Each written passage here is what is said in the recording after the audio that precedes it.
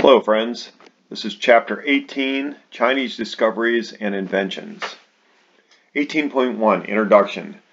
In chapter 17 you learned about economic changes in China during the Song dynasty. In this chapter you will explore discoveries and inventions made by the Chinese during or between about 200 and 1400 CE. Many of these advances came during the Tang and Song dynasties. Over the centuries, Chinese scholars and scientists studied engineering, mathematics, science, and medicine, among other subjects. Their studies led to impressive scientific and technological progress that was often far ahead of European advances. To understand the importance of one Chinese invention, imagine that you are a trader in the 10th century. You are far out to sea on a Chinese junk loaded with goods that you are bringing to Korea.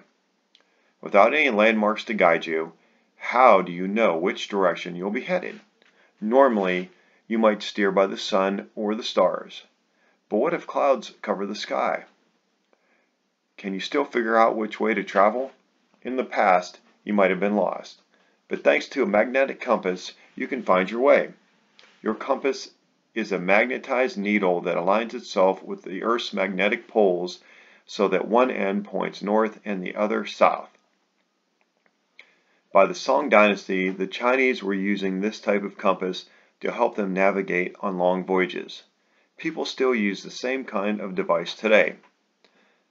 Like the compass, other Chinese inventions and discoveries allowed people to do things they had never done before. In this chapter, you will learn about Chinese advances in exploration and travel, industry, military technology, everyday objects, and disease prevention. As you'll see, the influence of many Chinese ideas reached far beyond China. 18.2 Exploration and Travel Several Chinese inventions made exploration and travel safer and faster. Some inventions benefited traders and other voyagers who ventured out to sea. Others improved travel on rivers, lakes, canals, and bridges inside of China. Improving travel by sea, the Chinese developed the first compass as early as the 3rd century BCE. The first Chinese compass, compasses were pieces of magnetic mineral called lodestone.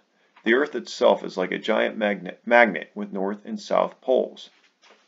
Because lodestone is magnetic, it is influenced by Earth's magnetic poles. If you put a piece of lodestone on wood and float it in a bowl of water, the lodestone will turn until it points in a north-south direction. The Chinese eventually, eventually replaced the lodestone with a steel needle. They had learned that rubbing a needle with lodestone made the needle magnetic. A needle used as a compass gave them a more accurate reading than a piece of lodestone. By the Song dynasty, the Chinese were using magnetic compasses for navigation at sea. Compasses made long sea voyages possible because sailors could figure out directions even without a landmark or a point in the sky to steer by. The compass remains an important navigational tool today. The Chinese also made sea travel safer by improving boat construction. By the second century CE, they discovered how to build ships with watertight compartments.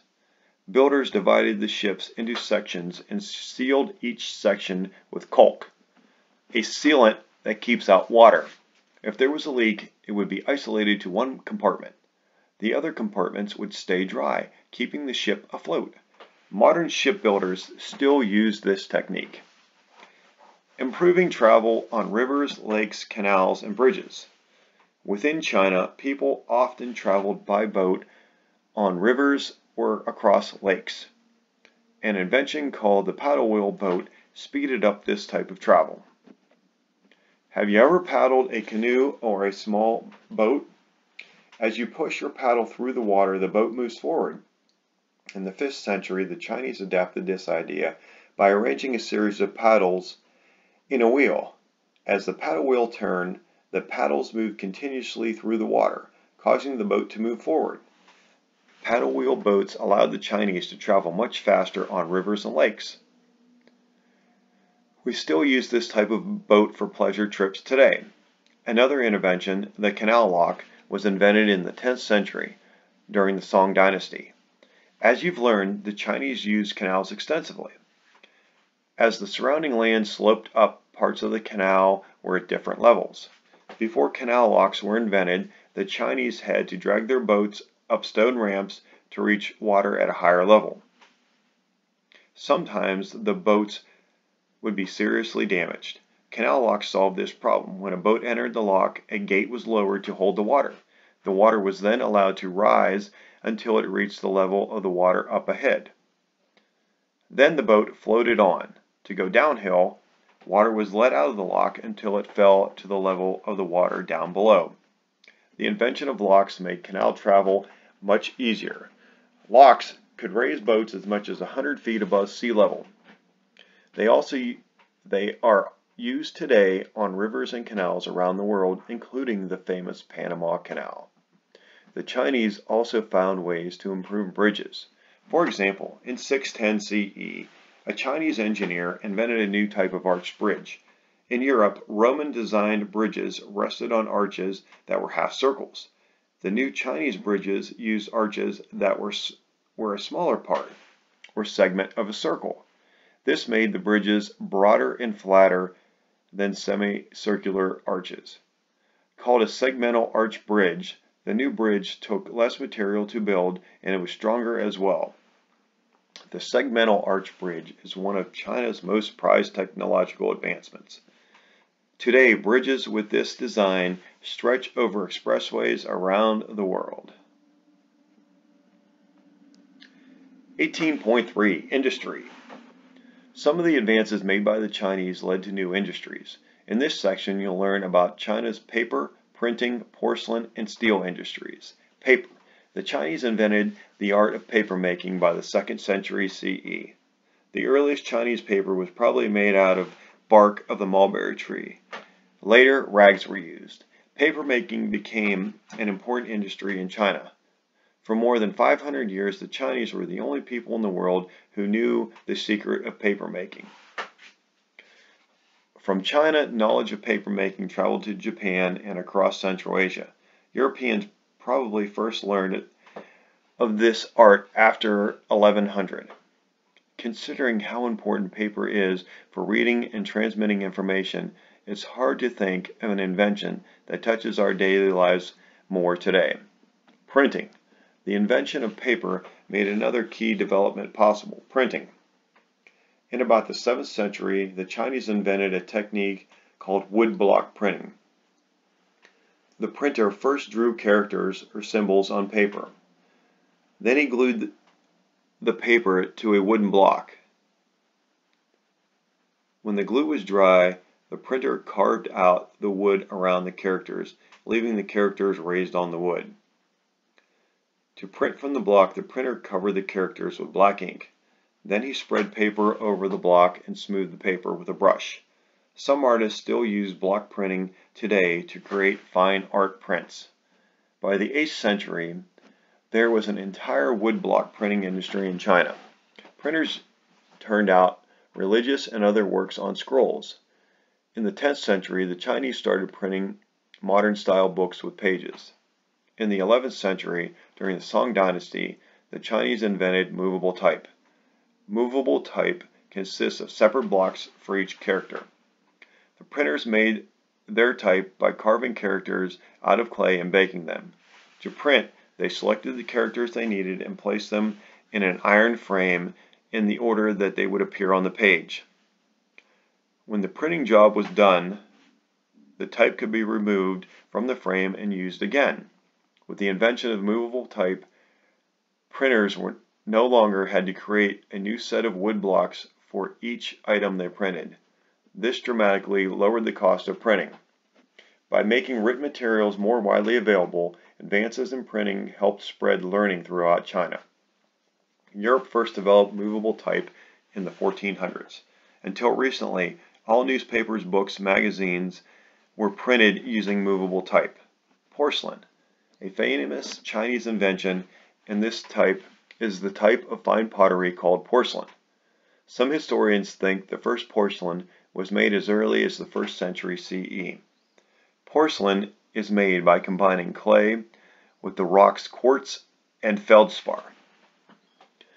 The mixture is baked in a kiln or oven at very high temperatures. The resulting pottery is white, hard, and waterproof. Light can pass through it, which makes it look quite delicate and beautiful. By the 10th century, the Chinese were making porcelain of great beauty. Craftspeople learned how to paint pictures on porcelain pieces.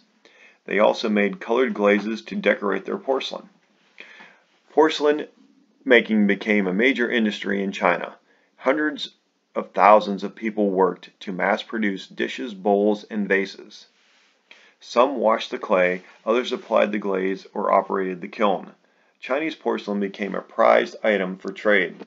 The Europeans did not learn how to make fine porcelain until the 18th century. Many people think that medieval Chinese porcelain is the finest in the world. People today still refer to fine dinnerware as China. Steel. The Chinese first made steel, a very useful metal, before 200 BCE. Steel is made from iron, but is less brittle than iron and easier to bend into different shapes. The earliest Chinese steel was made from cast iron. The Chinese were the first to learn how to make cast iron by melting and molding crude iron. Later, they learned that blowing air onto molten or melted cast iron causes a chemical reaction that creates steel. In the 5th century, the Chinese learned to mix cast iron with wrought iron. Wrought iron is softer than cast iron. Combining these two forms of iron under high heat changes them into steel. These discoveries eventually made it possible to produce large amounts of steel cheaply. In the 1800s, the mass production of steel was crucial to the European Industrial Revolution. Today, iron and steel making are among China's most important industries.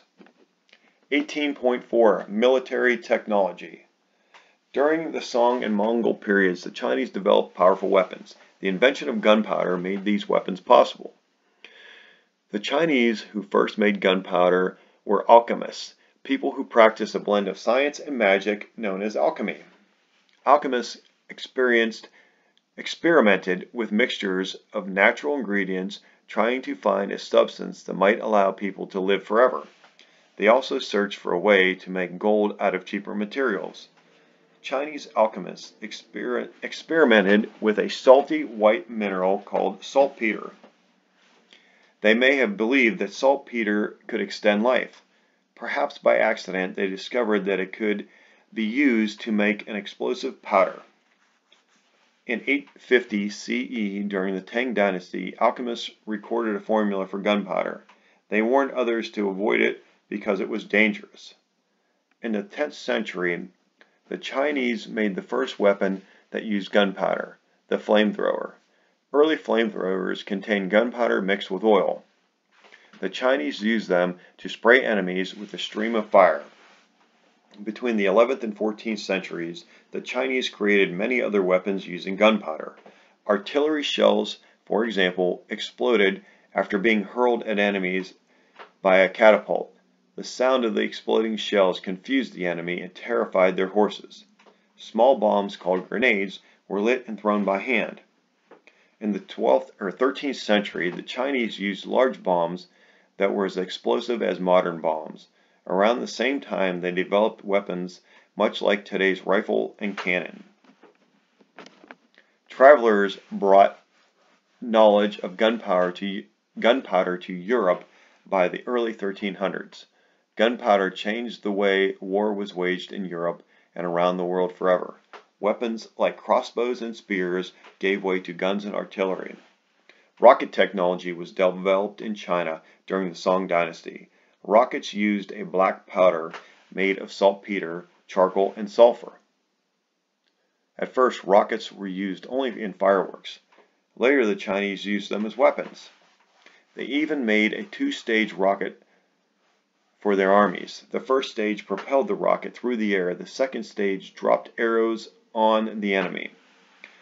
By 1300, rockets had spread through much of Asia and into Europe. The rockets we use to explore space today are based on the principles discovered by the Chinese.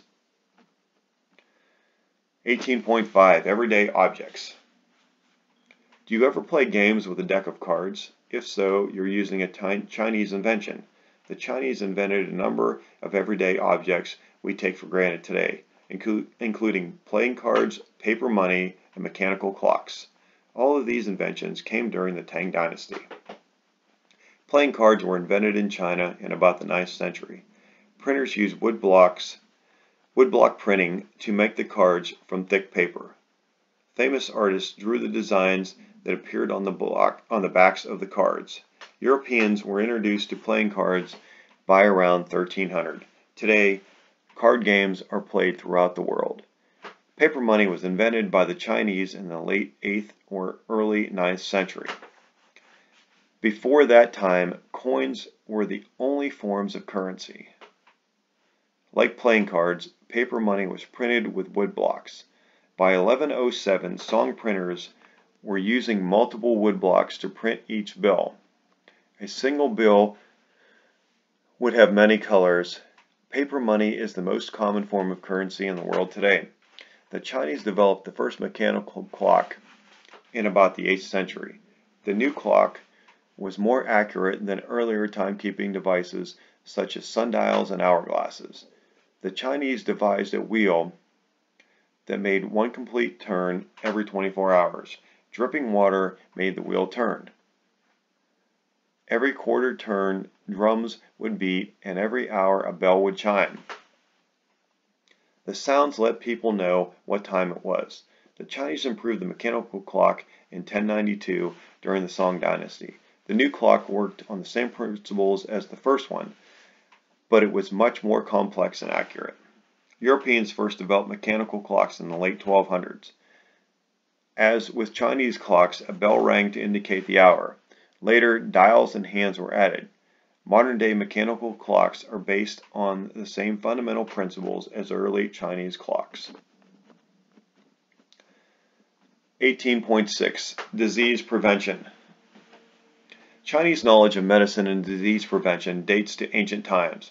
Before the first century CE, the Chinese developed a way of fighting infectious diseases. An infectious disease is one that can spread from person to person. When someone died of an infectious disease, the Chinese burned a chemical that gave off a poisonous smoke. They believed that the smoke would destroy whatever was causing the disease. Today we know that many diseases are caused by germs. We prevent the spread of diseases by using disinfectants, substances such as bleach that kill germs. The poisonous smoke used by the Chinese was a type of disinfectant. During the Song dynasty, the Chinese discovered another way to prevent the spread of disease. A Chinese monk recommended steaming the clothes of a sick person. He believed that the steam would prevent others from becoming ill. The idea was sound because hot temperatures kill many germs. Today, we boil medical instruments to kill disease-killing or causing germs. Sometime around the 10th century, the Chinese discovered how to inoculate people against smallpox, a dreaded infectious disease. Inoculation is a way of stimulating a person's immune system to fight a particular disease. It works by exposing the person to a disease-carrying substance. To inoculate people against smallpox, Chinese physicians took a small amount or small part of a scab from an infected person and made it into a powder. Then they inserted the powder into the nose of the person they wanted to immunize, protect against the disease. The Chinese knew that they had to take care when exposing people to smallpox. Sometimes the treatment itself caused people to become ill. To be as safe as possible, the Chinese took the infectious material from people who had already been inoculated. Chinese knowledge about smallpox inoculation eventually led to the development of drugs called vaccines.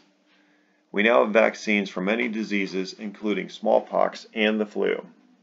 18.7 Chapter Summary In this chapter, you learned about the Chinese inventions and discoveries between about 200 and 1400 CE. The influence of many of these advances spread, spread far beyond China. Many Chinese inventions and discoveries continue to affect our lives today. Several Chinese ideas improved travel and exploration. They included the compass, paddle wheel boats, canal locks, and the segmental arch bridges. Advances in papermaking and printing helped spread learning. Chinese porcelain became famous for its quality and beauty. The Chinese also discovered ways of making steel. The Chinese revolutionized military technology. They discovered how to use gunpowder to make powerful weapons. They also developed the first rockets. A number of Chinese inventions enriched people's everyday lives. Among them are playing cards, paper money, and mechanical clocks. The Chinese also made great strides in medicine and disease prevention.